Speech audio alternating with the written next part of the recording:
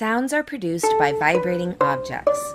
The vibrations of a sound source cause the surrounding air molecules to move back and forth, creating a series of alternating regions of high and low pressures.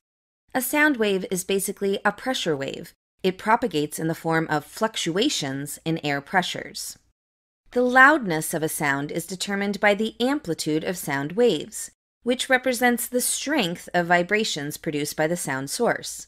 The stronger the vibrations, the higher the amplitude of sound waves, the louder the sound.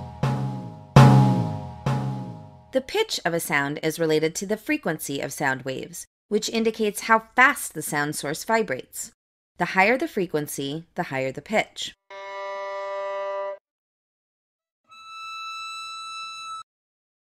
Frequency is measured in hertz.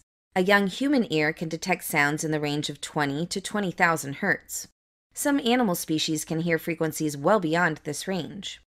Hearing is the process by which the ear transforms sound vibrations into nerve impulses that can be interpreted by the brain as sounds. The human ear has three distinct regions, called the outer, middle, and inner ear.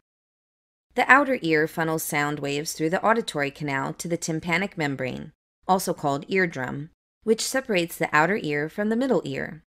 The eardrum is attached to a chain of three small bones in the middle ear, called the ossicles, the malleus, incus, and stapes. Sound waves cause the tympanic membrane to vibrate, and the vibrations are transmitted through the three bones to the oval window, where the inner ear begins. Since the eardrum is much larger in area than the oval window, the sound pressure that arrives at the oval window is much greater than the original pressure received by the eardrum. This amplification is essential for the stapes to push against the higher resistance of the fluid in the inner ear. The organ of hearing in the inner ear is the cochlea, essentially a long tube that is coiled up in a spiral to save space. The cochlea is composed of three fluid filled chambers. The central chamber, known as the cochlear duct, is where mechanical vibrations are transformed into nerve impulses. There are four rows of hair cells within the cochlear duct, supported on the basilar membrane. The movements back and forth of the stapes push on the fluid in the cochlear duct, causing the basilar membrane and the hair cells to move up and down. These movements bend the cilia of hair cells, opening the mechanically gated potassium channels on their surface.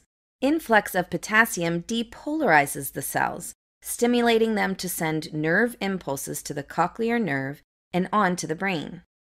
Our ability to differentiate sounds of different loudness and pitch depends on the ability of the cochlea to respond differently to different amplitudes and sound frequencies. Louder sounds cause more hair cells to move and generate greater nerve signals to the brain. Different frequencies stimulate different parts of the basilar membrane which acts like a set of piano strings. The basilar membrane is narrowest and stiffest at the base, near the oval window, and widest and most flexible at the far end. High frequency sounds with more energy can move the stiffer part of the membrane, while low frequency sounds can only move the more flexible part. Thus, high pitched sounds excite nerve fibers that are closer to the oval window while low pitched sounds send signals through the fibers at the far end.